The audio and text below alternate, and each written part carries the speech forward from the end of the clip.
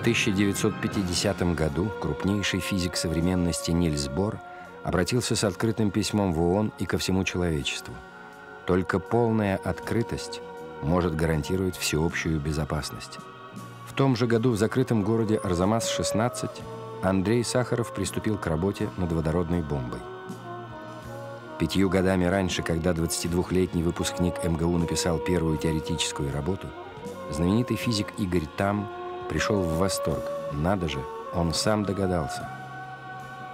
Рядовой инженер оборонного завода Андрей Сахаров догадался, как устроен атомный реактор, засекреченный в США и СССР. Научная интуиция Сахарова вообще была поразительной. Других физиков я могу понять, говорил академик Зельдович, но этот что-то особенное. И вдруг молодой ученый, надежда и гордость теоретической физики, внезапно исчезает на два долгих десятилетия. Гениальный менеджер Игорь Курчатов зачисляет Сахарова в группу по разработке нового оружия в Лос-Арзамасе, как в шутку называли физики секретный Арзамас-16. В августе 1953-го в СССР была взорвана первая советская водородная бомба. Автором ключевых идей конструкции стал Андрей Сахаров.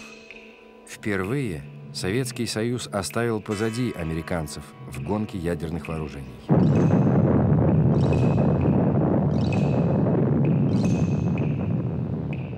После испытаний Курчатов поклонился молодому коллеге в пояс со словами «Тебе – спасителю России, благодарность. Много лет спустя, встретившись в США с отцом американской водородной бомбы Эдвардом Теллером, Андрей Дмитриевич вспоминал. То, что мы делали, это была на самом деле большая трагедия, отражающая трагичность всей ситуации в мире, где э, для того, чтобы сохранить мир, необходимо делать такие страшные, ужасные вещи. Сахаров был единогласно избран в Академию и в 32 года стал самым молодым академиком за всю историю Российской Академии Наук. Такие люди рождаются раз в полвека, восхищался скупой на похвалы Курчатов. Следующие 10 лет – самые интенсивные в создании термоядерного оружия. На Сахарова обрушился дождь наград, три звезды Героя социалистического труда, Ленинская и Сталинские премии – в годы оттепели стала меняться атмосфера и в секретном городе. Физики, отгороженные от мира рядами колючей проволоки, вдруг обнаружили, что живут в огромной стране, у которой много проблем и не только научных. Власти смотрели на подобные вольности сквозь пальцы, лишь бы товарищи ученые ковали ядерный щит Родины. В изоляции большого вреда от них не будет. Знали бы они, что здесь-то и вырастет самый великий диссидент – советской истории. Путь прозрения Сахарова был стремительным. Убедившись, что каждый ядерный взрыв – угроза для человечества, Сахаров выступает против испытаний в трех средах. И все же, когда Хрущев предложил испытать бомбу мощностью 100 мегатонн, Сахаров отнесся к этому с энтузиазмом. На партийном съезде советский лидер куражился, сознавая свою силу. Но 100-миллионную бомбу мы взрывать не будем, потому что если мы эту бомбу взорвем где туда, куда она предназначается, то мы можем и себе окна побить. Мир затаил дыхание. 30 октября 1961 года над Новой Землей был взорван самый большой за всю историю человечества заряд мощностью в 58 миллионов тонн тротила. А всего год спустя Создатель этого чудовища со слезами на глазах умолял Хрущева отказаться от очередного испытания, убеждая, что это бессмысленно и вредно. «Я был бы слюнтяем, если бы слушался таких, как Сахаров», — грубо отмахнулся Хрущев. Может быть, тогда-то Андрей Дмитриевич и вспомнил предупреждение великого Нильса Бора. Только полная открытость. Значит, нужно бороться за открытое общество, за права человека и гражданские свободы. И он сделал свой выбор раз и навсегда. Летом 68-го первая публицистическая статья Андрея Сахарова произвела во всем мире впечатление, подобное взрывам его водородных бомб. Сахарова отстраняют от секретных работ, и он навсегда покидает Арзамас-16. Его правозащитная деятельность адресуется Урби et Орби, городу и миру. Комитет прав человека, многочисленные обращения в защиту политзаключенных, участие в демонстрациях и судебных процессах над диссидентами, хула властей придержащих и издевательство образованщины. Все это происходило на наших глазах, на глазах молчаливого большинства. По требованию Политбюро был поставлен вопрос об исключении Сахарова из Академии наук. Когда-то покойный Игорь Курчатов, представляя им здесь же молодого Сахарова, говорил, «Этот человек сделал для обороны нашей Родины больше, чем мы все, присутствующие здесь». Петр Леонидович Капица напомнил коллегам, что аналогичный случай был однажды в Германии, при Гитлере. Исключили Альберта Эйнштейна. Вопрос был снят с повестки дня. Некоторое время его еще защищали высокие звания и награды. Терпение властей истощилось в 80-х, когда академик Сахаров, единственный из всех граждан СССР, публично выступил против ввода войск в Афганистан. Без суда и следствия его выслали из Москвы. У него нет никакой связи с внешним миром. Отключен телефон.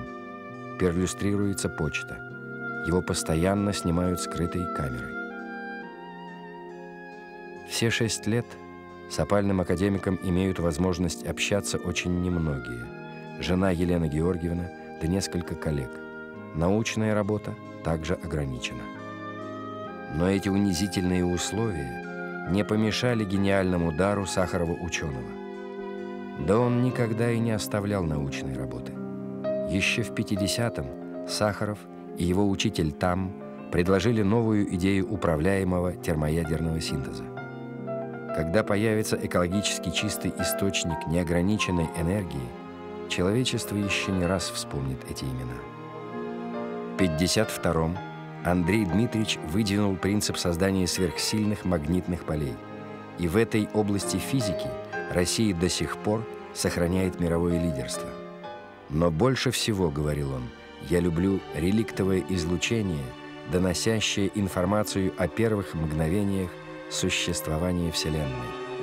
Сахаров, автор фундаментальной идеи распада протона, основного стабильного кирпичика мироздания – эта гипотеза поясняет, как возникла Вселенная и почему она стала такой, какая есть.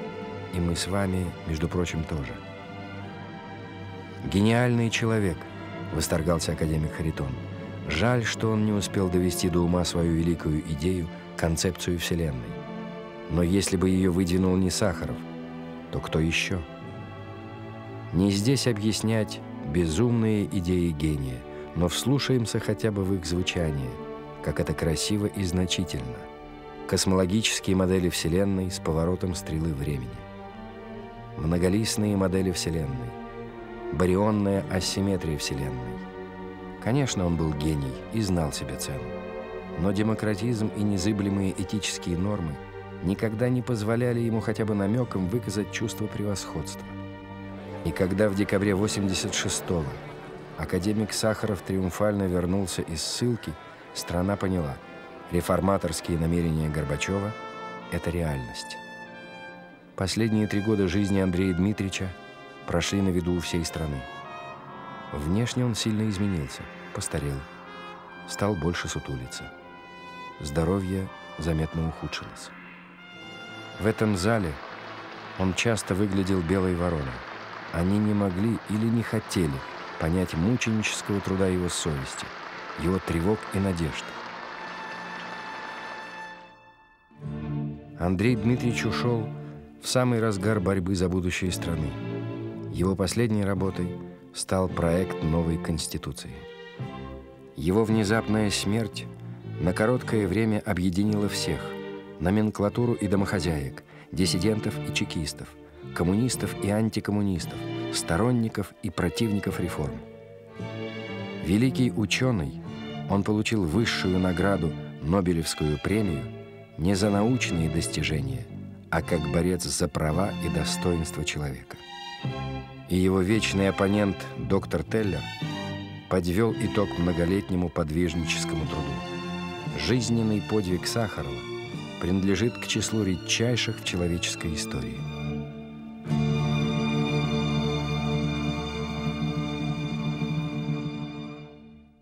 Георгиевна Боннер вспоминает, как в ссылке Андрей Дмитриевич любил слушать стихотворение Бориса Пастернака «Август». «Прощайте годы безвременщины, простимся, без неунижений, бросающая вызов женщина, я поле твоего сражения, прощай размах крыла расправленный, полета вольное упорство и образ мира в слове явленный, и творчество, и чудотворство. О нем можно сказать словами Анатолия Франца. Он был воплощенной совестью человечества.